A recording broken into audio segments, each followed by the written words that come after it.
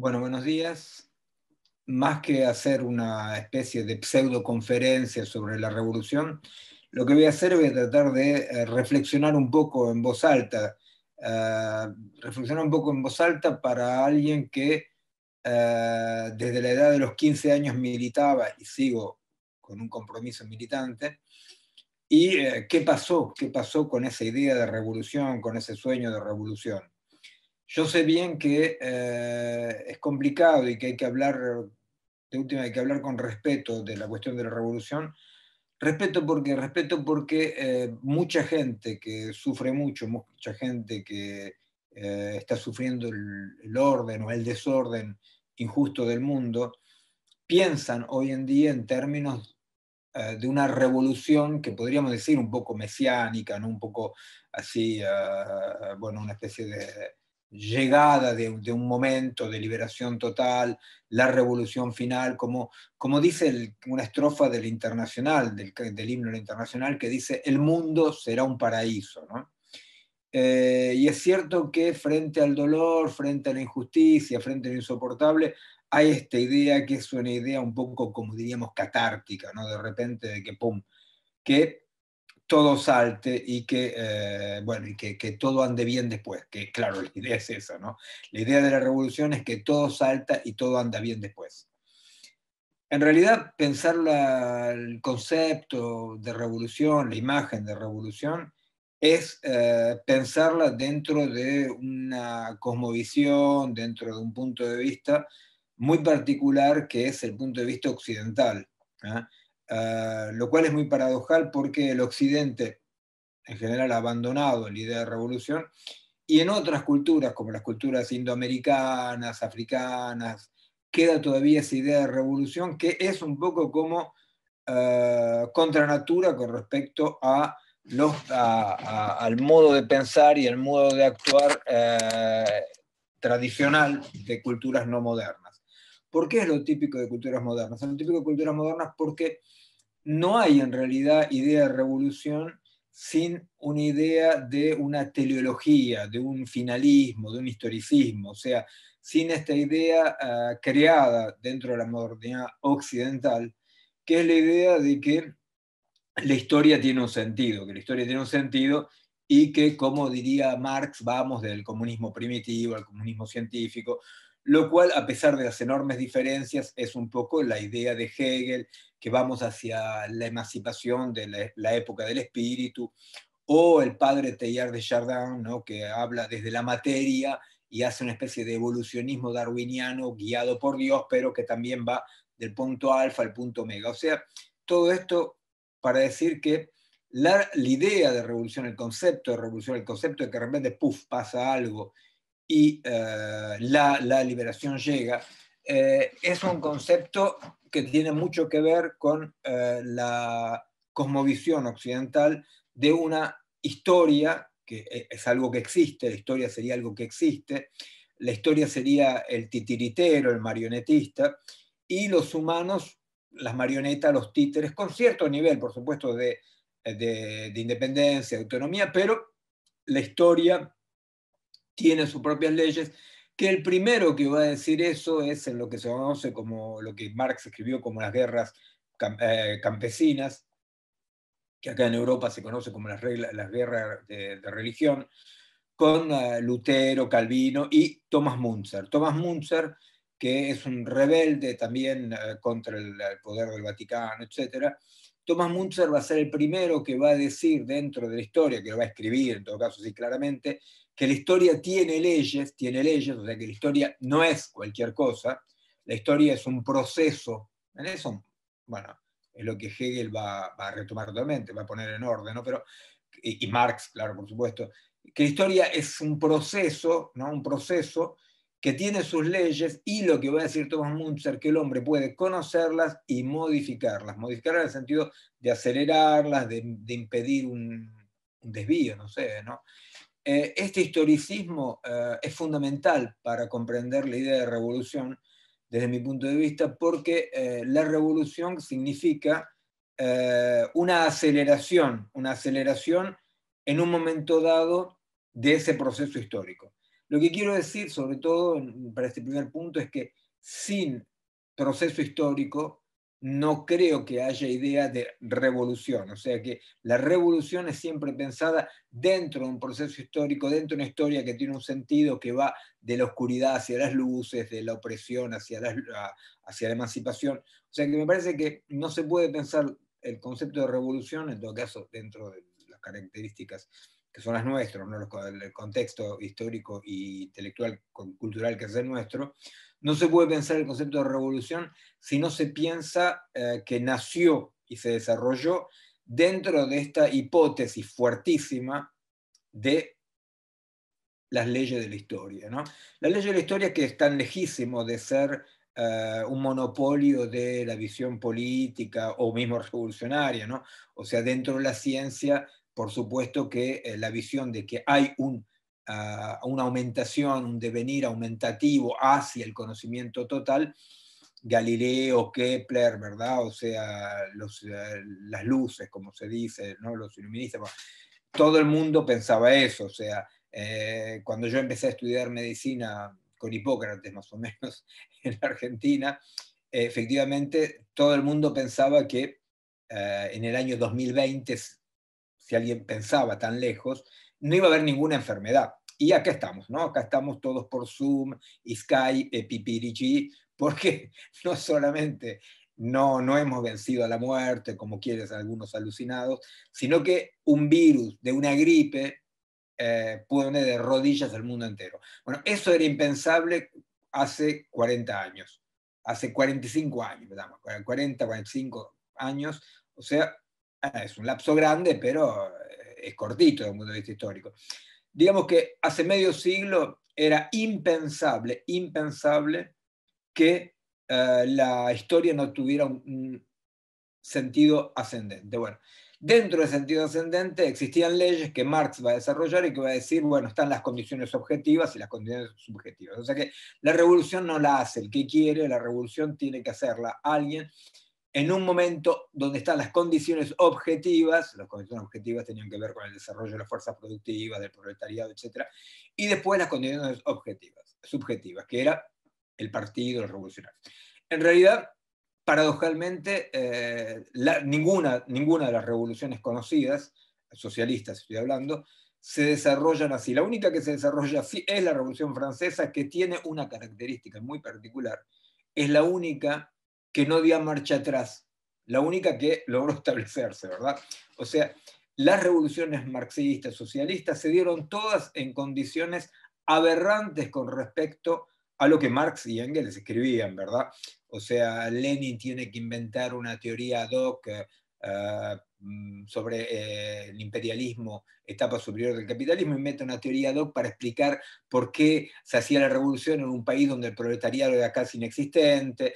Eh, Mao Zedong eh, inventa una revolución donde eh, la contradicción proletariado-burguesía estaba representada por el campesino contra el señor feudal.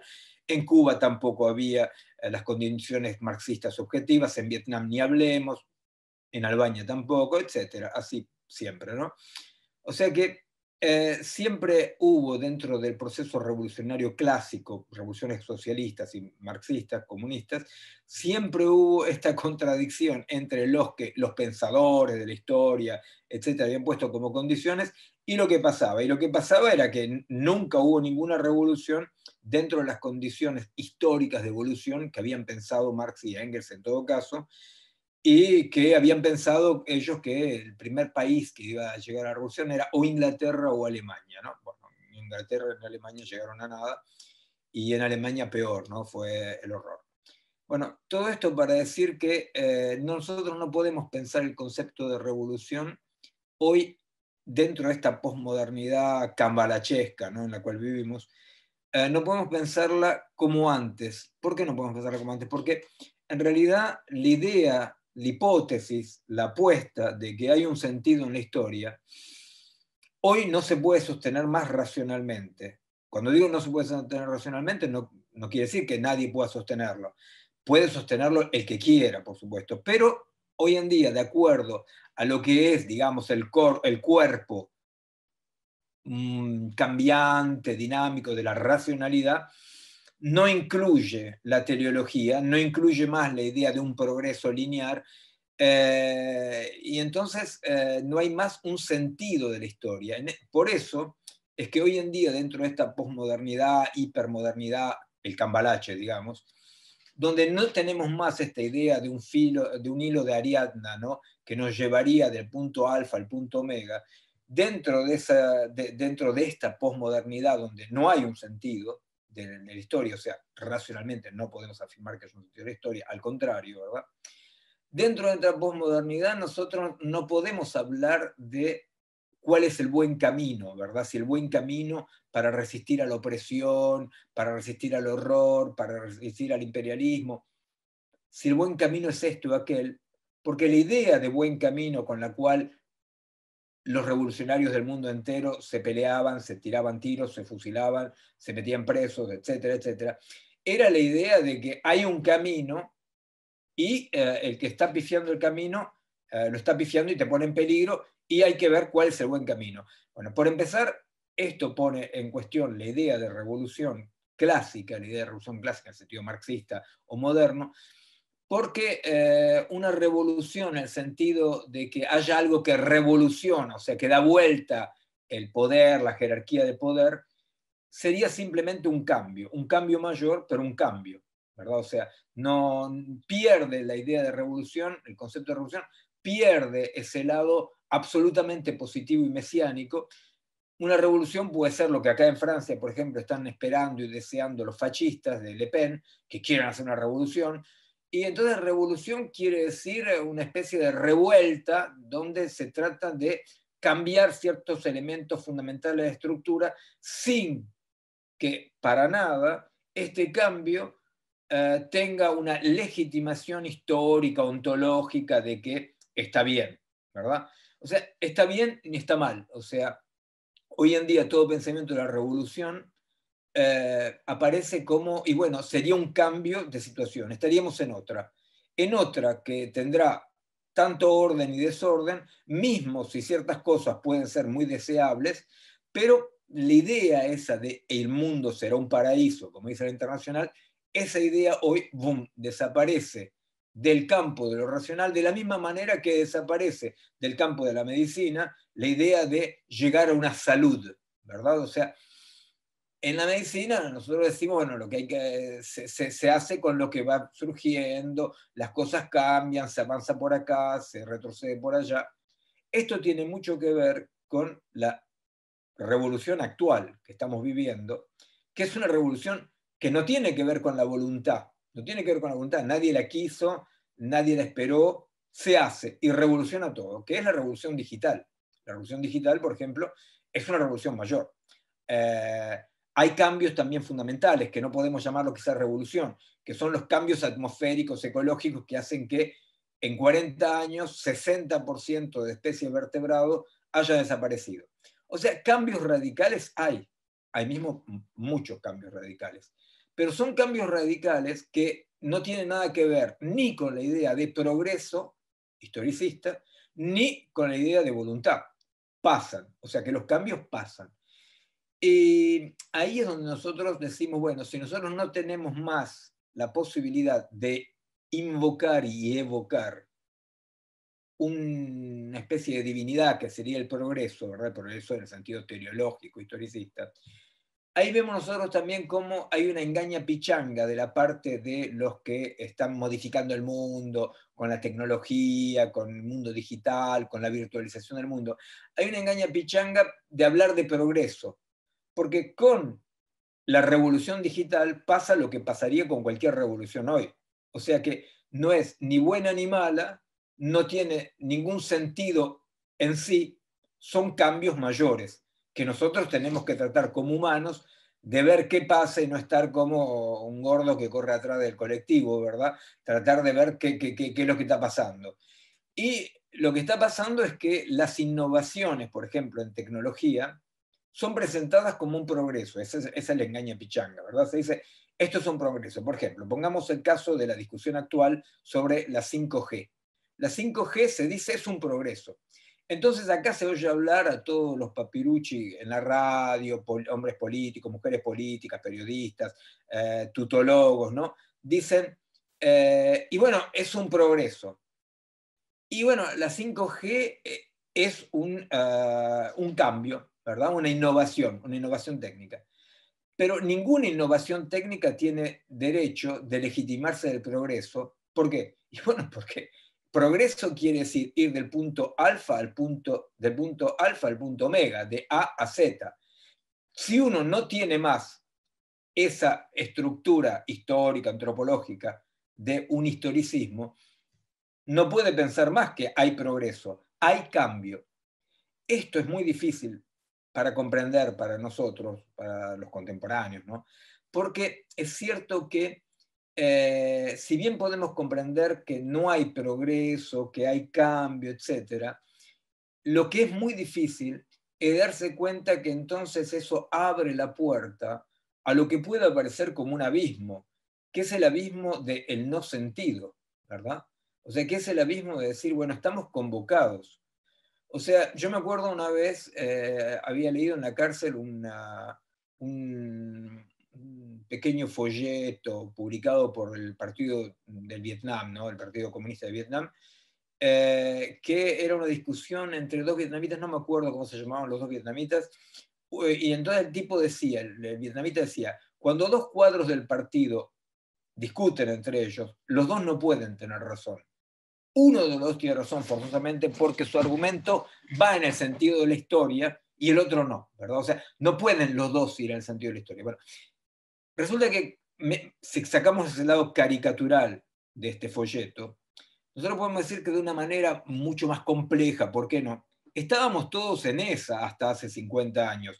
Estábamos todos en hay un sentido y hay que descubrir el sentido.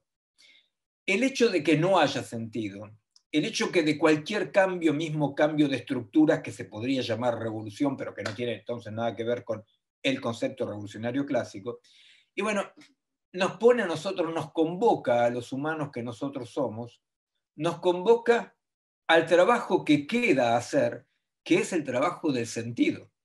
O sea, dar sentido a los cambios, ¿verdad? Nosotros venimos de un mundo en el cual el cambio mostraba el sentido.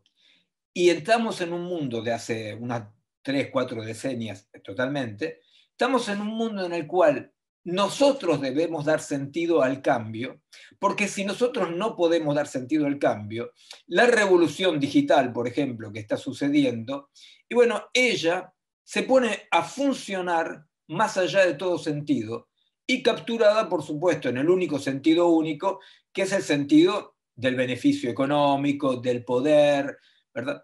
Entonces, eh, es ahí donde eh, efectivamente hoy en día invocar la revolución es un poco como anacrónico y a la vez un poco como irracional, porque revoluciones están pasando, cambios hay.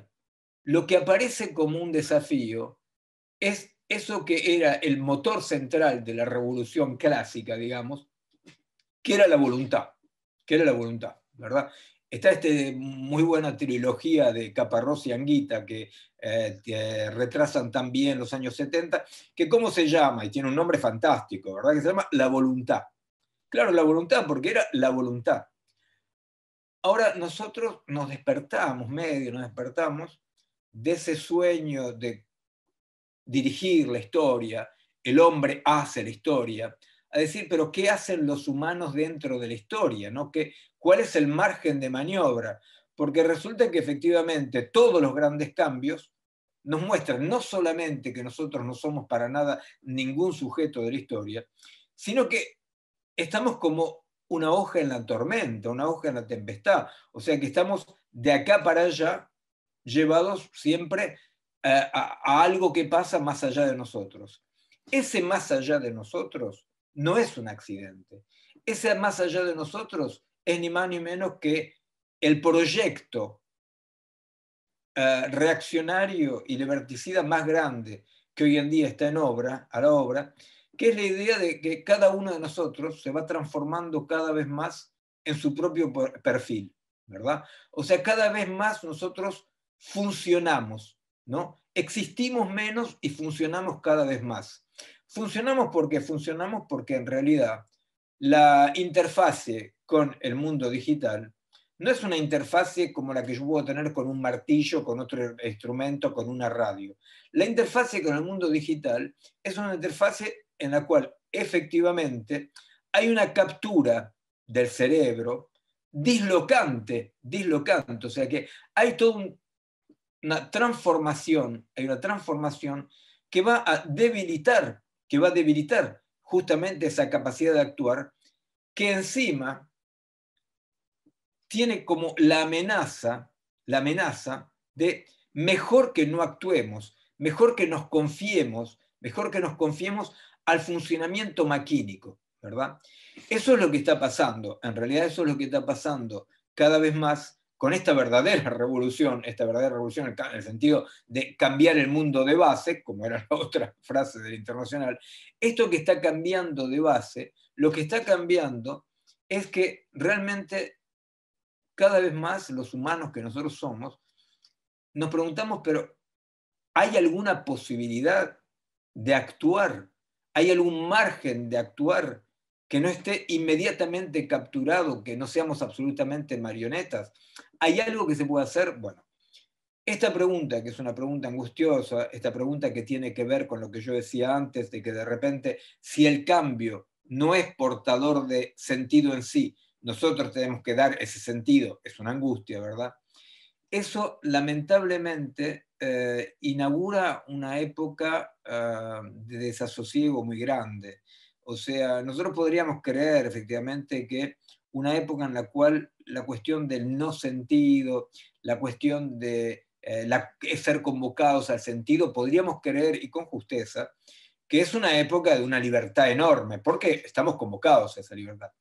Pero en realidad lo que pasa es que eh, es un poco más complicado, ¿no? Porque no es, eh, no es un juego, o sea, no es un juego, no es moco de pavo, como quien diría, el hecho de, como ser humano, mirar esto que aparece como un caos, mirar esta intricación terrible que existe en fenómenos, esta complejidad eh, que nos incorpora, no la podemos mirar desde afuera ni siquiera, ¿verdad? O sea, cualquiera que pretenda mirar la complejidad de afuera se condena a la impotencia. Y bueno, es muy complicado poder comprender algo sabiendo que toda comprensión es una comprensión desde adentro, o sea que no somos más sujeto-objeto, Es por eso que la idea de revolución hoy en día, si nosotros volvemos a la idea de revolución política, la idea de que, eh, bueno, nosotros eh, con la voluntad vamos a cambiar las cosas. Y bueno, es es una trampa, en realidad es una trampa. Es una trampa porque eh, ya durante el siglo XX, siempre el proyecto revolucionario, el proceso revolucionario, siempre actuaba como si olvidara ciertas variables. ¿ven? Es como si alguien eh, prepara un proceso muy complejo y se olvida de ciertas variables, ¿verdad? O sea, muy complejo o medio complejo. Vos te preparás el guiso, pones todo en el guiso, Ariel, que es un cocinero eh, eh, cordon bleu, se dice, ¿no? Él debe saber esto mejor que yo para dar un ejemplo mejor, pero yo voy a dar un ejemplo simplista. Efectivamente, eh, vos preparás el guiso y, ah, te olvidaste de prender el fuego, ¿verdad? Y dice, bueno, pero el guiso no se hizo. Bueno, eso que parece tan estúpido es exactamente el drama, la tragedia total de todas las revoluciones que ha habido en el siglo XX. Por ejemplo, eh, se tomaba el poder eh, eh, o se desarrollaban grupos de poder que estaban muy cerca del gobierno, etcétera, etcétera, y de repente aparecía la acción de los americanos, ¿verdad? La acción del imperialismo. Y entonces era como uno decía, bueno, pero como vos no habías pensado, no habías incorporado esa variable a tu proyecto revolucionario, y si se había incorporado, a veces sí, a veces no, pero se había incorporado con una especie de simplismo total, ¿verdad? Ese simplismo no era simplismo mm, porque sí, era un simplismo que contaba con el apoyo de tener razón porque íbamos del lado de la historia, ¿se entiende? O sea, no es que nos olvidábamos de las variables importantes como que el imperialismo existe, que si tomás el poder o si ganás las elecciones, como fue el caso de Salvador Allende, te van a hacer una huelga y te van a sabotear, etcétera, los camioneros, etcétera. No es que te habías olvidado de las variables, es que había una consideración de minimizar las variables, una actitud, perdón, de minimizar las variables, porque se contaba con otra fuerza, que era la fuerza de la historia, ¿verdad? O sea, y eso era muy, muy potente, sobre todo potente como todas las variables implícitas, ¿verdad? Las variables que van de sí, van de por sí. Ese simplismo, ese simplismo mesiánico, esa idea de que, eh, bueno, vamos a dar vuelta a las cosas, vamos a expropiar, como me acuerdo, me acuerdo eh, dos compañeros, eh, el día que volvió Perón, o sea, estoy hablando del siglo pasado, por supuesto, cuando volvió Perón a la Argentina, que fue la famosa masacre de Seiza, había dos compañeros maoístas que me los encontré en la Plaza de Mayo y estaban esperando que las masas vuelvan de recibir al general para ir a ocupar el Sheraton Hotel, porque el Sheraton Hotel iba a ser el hospital de niños, ¿verdad? Bueno, efectivamente, eh, esperar las masas porque vamos a tomar el Sheraton y transformarlo en un hospital de niños, son ideas hermosísimas, ideas hermosísimas que terminan en masacre, que terminan en masacre, que terminan con desaparecidos. ¿Por qué? Porque hay algo dentro de esta idea mesiánica que nosotros tenemos realmente que revisitar y revisitarla muy de abajo, que empieza diciendo, pero ¿cuál es ese famoso margen de acción de los humanos? Y segundamente, dentro de este no sentido de la historia, asumir el hecho de que todo cambio es un cambio. O sea, todo cambio es un cambio. No hay un cambio que sea el cambio que descubre el camino. Es por eso que Deleuze dice, ¿no? en un pasaje de su famoso abecedario, dice, toda revolución es siempre traicionada. Y claro, es traicionada por el hecho de que, de última, una revolución no puede devenir un Estado revolucionario, en ningún sentido, ni en el sentido físico de un Estado, ¿no? el nuevo Estado, ¿no? Eh, la nueva determinación de la cosa es revolucionaria, ni tampoco un Estado en el sentido de un Estado burocrático. O sea, visiblemente hay algo que es absolutamente anómalo dentro de la realidad misma de un cambio revolucionario de sistema, es que la revolución no puede más que ser un momento, no puede más que ser un momento y encima, hoy en día, un momento sin un sentido prealable. O sea que cuando Deleuze dice una revolución no puede más que ser traicionada, es en el sentido de decir que una revolución no puede cristalizarse y ser el Estado revolucionario. Por un montón de razones, ¿verdad? Por un montón de razones porque eso es el momento de la potencia, es el momento donde algo cambia, pero lo que pasa es que ese cambio, ese momento de la potencia, ese momento de emergencia, sería absolutamente falso y conduce a la dictadura sistemáticamente cuando uno trata de perdurar ese momento diciendo nosotros somos los que seguimos haciendo la revolución, ¿verdad? Eh, cuando alguien vive, no sé, cuando uno visita Cuba, por ejemplo, hay jóvenes, jóvenes de 20 años que dicen, nosotros somos revolucionarios. No dice, bueno, mm, no sé qué querrá decir, pero más o menos sería lo mismo, eh, sin querer ofender a nadie, que alguien que venga a visitar Francia y va a ver a un joven de 20 años y el joven le dice, nosotros, bienvenido, estás en un país revolucionario porque hace 200 años hicimos la revolución, ¿verdad? O sea, hay algo ahí de esta ah, ah, validarse, legitimarse del momento revolucionario, que tiene un lado por lo menos un poco canalla, ¿verdad? Porque lo que pasa es que si hay un cambio, y cambios puede haber, ¿por qué no? Efectivamente, cambio de estructura, que se pueden llamar revolucionarios en cierto sentido, en el sentido que revolucionan la cosa y no de la historia. Si hay un cambio, y bueno, ese cambio lo que hace es que abre de nuevo el campo de los posibles, ¿verdad? Abre de nuevo el campo de los posibles. No es la llegada a ningún lado, es ahí donde el abandono del historicismo cuestiona el sentido de la revolución. Porque efectivamente un cambio revolucionario abre variables, abre posibles, posibles múltiples. Y dentro de esos posibles múltiples, no hay nadie que encarne, que encarne la potencia revolucionaria. Hay proyectos diferentes, hay proyectos reaccionarios, proyectos centristas, proyectos reformistas, proyectos, eh, lo que uno quiera, ¿verdad? Pero nadie encarna nunca el cambio, ¿verdad? Y eso es un problema, es un problema porque hoy en día, efectivamente, eh, una tendencia muy fuerte eh, es de buscar cuál sería el nuevo sujeto revolucionario, cuál sería el sujeto. ¿verdad? La idea de pensar cuál sería el sujeto revolucionario lleva todas las cacerolas, lleva todo, todo, todo el lastre, ¿verdad? De la idea historicista de que hay un sujeto de vanguardia que está un poco más adelante que nosotros en ese camino de la historia.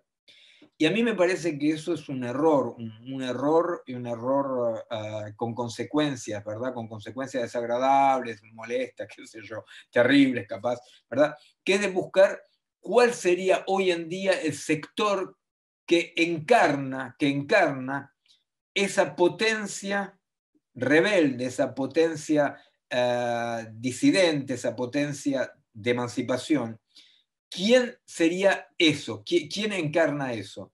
Y en realidad eso no lo encarna nadie. Eso es una situación que envuelve a todo el mundo, ¿verdad? O sea, no hay gente que representan ellos como personas ese sujeto. Y a mí me parece que efectivamente eso es uno de los desafíos hoy en día. Uno de los desafíos es darse cuenta de que efectivamente no tenemos un imaginario subversivo no tenemos un imaginario subversivo.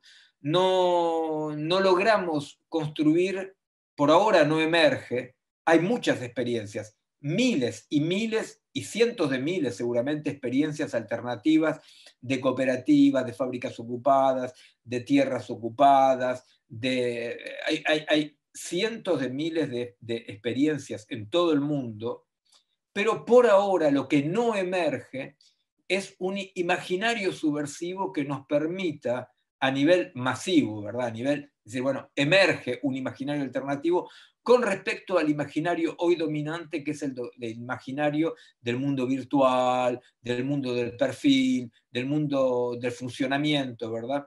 No tenemos ese imaginario. Ese imaginario es fundamental, porque ese imaginario es el que permite de que la gente pueda proyectarse y decir, bueno, esto es posible. En realidad ese imaginario no emerge y no solamente no emerge, sino que es un desafío. Sí hay es un montón de denuncias y alertas que son totalmente justificadas sobre qué es lo que pasa con un eh, pueblo fumigado, qué es lo que pasa con el extractivismo, qué es lo que pasa con eh, los distintos desastres ecológicos, qué es lo que pasa con los desastres farmacéuticos, qué es lo que pasa con las guerras provocadas por el imperialismo. O sea, hay una serie de informaciones que nos informan, para decirlo así, de que estamos como viviendo arriba de un volcán. Pero el problema es que nadie puede vivir arriba de un volcán.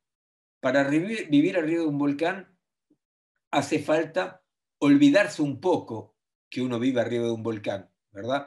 O sea, eh, la cuestión se juega así, o sea, si yo me olvido demasiado que estoy arriba de un volcán, y bueno, o me vuelvo un colaborador con el sistema, o estoy en un funcionamiento de una alienación total que niego la realidad, si me acuerdo demasiado, no puedo hacer nada porque me vuelvo loco.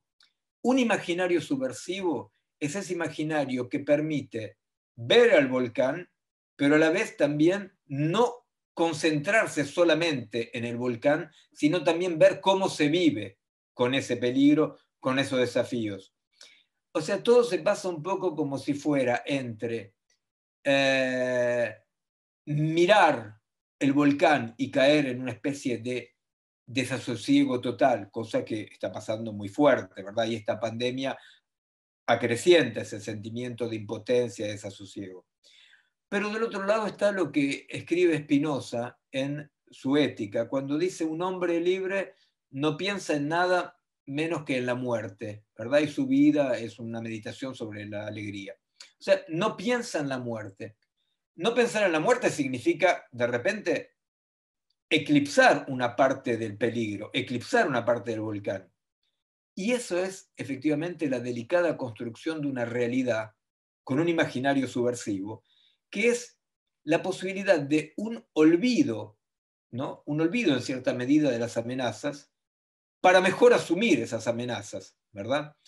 Eso que serían las exigencias de un imaginario es lo que acá en Francia, en Notre-Dame-des-Landes, en la Argentina, en todas las experiencias alternativas, cooperativas, comunitarias, etcétera, un poco por todos lados en el mundo, hay muchísima, muchísima gente que está tratando de ver cómo se puede vivir, desear, sin olvidarse del volcán, pero sin estar obsesionado por el volcán. ¿Esto se llama revolución? ¿Esto tiene algo que ver con la revolución? Yo no creo, yo no creo.